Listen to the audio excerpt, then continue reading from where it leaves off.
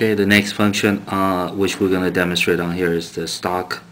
Press the stock icon and then there's a couple ways you could enter it to uh, find out statistic either by symbols or by full name. Like you can see here we already have Yahoo on here. Then just press enter or return.